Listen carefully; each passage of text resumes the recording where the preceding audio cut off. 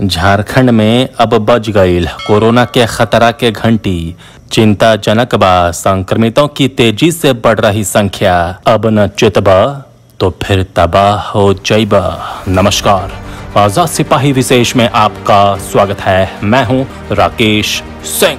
24 मार्च को जब कोरोना महामारी के कारण देशव्यापी लॉकडाउन का ऐलान किया गया था झारखंड में संक्रमण का कोई मामला नहीं था, लेकिन आज ये संख्या एक हज़ार के पार जा चुकी है और लॉकडाउन खत्म होने का पहला चरण, यानी अनलॉक वन शुरू होने वाला है। ये झारखंड के लिए बेहद खतरनाक और चिंतनीय स्थिति है, क्योंकि यहाँ जिस रफ्तार से संक्रमितों की संख्या बढ़ रही है, राज्य की तबाही की आशंका उतनी ही बलवती होती जा रही है। झारखंड में कोरोना संक्रमण का ग्राफ जिस तेज़ी से बढ़ रहा है, उससे साफ़ हो गया है कि बाहर से आने वाले प्रवासी अपने साथ इस वायरस को लेकर आ रहे हैं। संक्रमितों की बढ़ती संख्या के बीच सुकून की बात इतनी है कि ये बीमारी अब तक जानलेवा नहीं हुई है और अधिकांश संक्रमित स्वस्थ हो रहे हैं। लेकिन इसका दूसरा पहलू भी है। कि झारखंड के पचासी फ़ीसदी संक्रमितों में कोरोना का कोई लक्षण नहीं पाया गया है। ये बेहद खतरनाक है, क्योंकि बिना लक्षण वाले संक्रमितों की पहचान बेहद मुश्किल है। झारखंड को अब सतर्क हो जाने की ज़रूरत है, क्योंकि यदि ऐसा नहीं किया गया और अनलॉक वन के साथ जैसे ही लोग घरों से बाहर निकलकर सामान्य दिनचर्या में लौटने लगेंगे, ये संक्रमण दो गुनी तेज़ी से फैलेगा। उस स्थिति में अपने सीमित स्वास्थ्य संसाधनों के साथ झारखंड के लिए इस पर नियंत्रण पाना असंभव हो जाएगा। इसलिए झारखंड को बचाने के लिए अब अत्यधिक सतर्कता अनिवार्य है। कोरोना की विस्फोटक स्थिति की पृष्ठभूमि में झारखंड के वर्तमान हालत का विश्लेषण करती आज़ाद सिपाही ब्यूरो की खास रिपोर्ट। झारखंड में इन दिनों हर शाम घरों और चौक चौराहों पर इसी बात की चर्चा होती है कि आज कितने मरीज़ मिले और कितने ठीक होकर घर लौटे।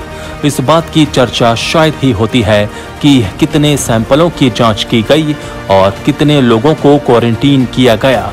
आमतौर पर चिकित्सा विज्ञान की ये शब्दावलियाँ आज घर घर में प्रचलित हो गई हैं। वैश्विक महामारी के कारण 25 मार्च को किए गए देशव्यापी लॉकडाउन के खत्म होने का पहला चरण 8 जून से शुरू हो रहा है।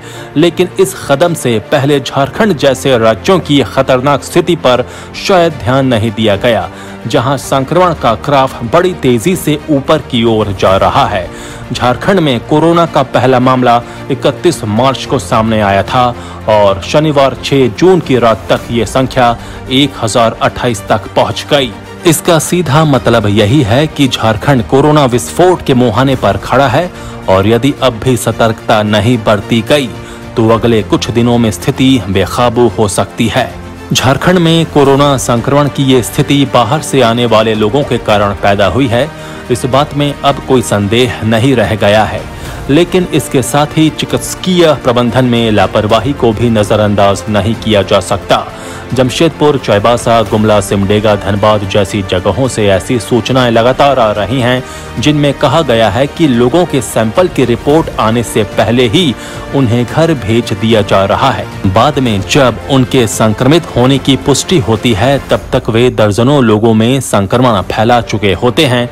ये सिलसिला लगातार जारी है, इसे तत्काल बंद किए जाने की आवश्यकता है। झारखंड में संक्रमितों की संख्या पिछले नौ दिनों में दोगुनी हो गई है, लेकिन सबसे चिंताजनक बात यह है कि पचासी प्रतिशत संक्रमितों में कोरोना के कोई लक्षण नहीं मिल रहे। यहाँ तक कि उनमें सामान्य फ्लू के लक्षण भी नहीं दिख रहे। ऐसे में संक्रमितों की पहचान का एकमात्र उपाय कोरोना जाँच ही है। झारखंड के पास आज महज सत्रह हज़ार से कुछ अधिक टेस्टिंग किट है, जो हर नज़रिए से अपर्याप्त है। सवा तीन करोड़ की आबादी वाले राज्य में इतनी कम संख्या में टेस्टिंग किट होना दुर्भाग्यपूर्ण स्थिति है। राज्य की स्वास्थ्य मशीनरी पूरी ताकत से संक्रमण को फैलने से रोकने में लगी है, लेकिन आम लोगों का व्यवहार और उनकी आदतों से इन तमाम कोशिशों पर पानी फिर रहा है। कोरोना संकट के इस दौर में एक बात सुकून पहुँचाने वाली है कि झारखंड में मृत्यु की दर बहुत कम है। पिछले ढाई महीने में महज सात लोगों की मौत साबित करती है कि झारखंड के लोग अपनी प्रतिरोधक क्षमता के कारण कोरोना को मात देने में सफल हो रहे हैं। लेकिन संक्रमितों की संख्या यदि इसी रफ्तार से बढ़ती रही और हर आठवें दिन आंकड़ा दो गुना हो जाए तो इस हिसाब से अगले कुछ दिनों में झारखंड में स्थिति अनियंत्रित हो जाएगी। तब हमारे सामने हाथ मलने के अलावा कोई चारा नहीं बचेगा। इसलिए अब समय आ गया है कि झारखंड के लोग यहाँ की स्वास्थ्य मशीनरी और यहाँ का प्रशासन सतर्क हो जाए।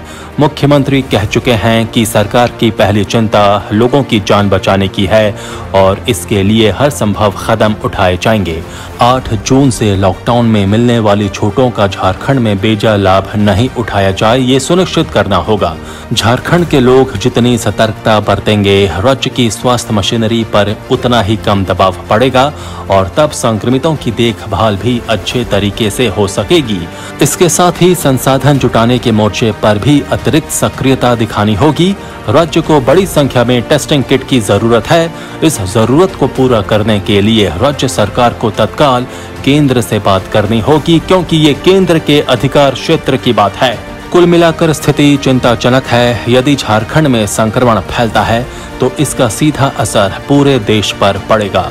इसलिए पूरे देश को इस खतरे को टालने के लिए तत्काल सक्रिय होने की ज़रूरत है। इस क्रम में भले ही लॉकडाउन को आगे बढ़ाना पड़े और सख्ती बरतनी पड़े तो भी ऐसा किया जाना चाहिए।